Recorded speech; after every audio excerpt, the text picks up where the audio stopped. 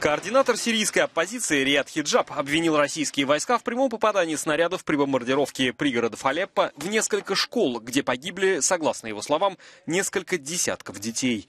Бывший министр в правительстве Асада Хиджаб дезертировал три с половиной года назад. В понедельник он встретился в Париже с президентом Франции Франсуа Олландом. Пока оппозиция отказывается от переговоров с Дамаском. Мы собираемся отправиться на переговоры, и мы со всей серьезностью хотим ввести этот переговорный процесс. Но для этого должны быть созданы все условия. Мы не в состоянии договариваться с режимом в ситуации, когда на головы сирийцев падают бомбы иностранной армии.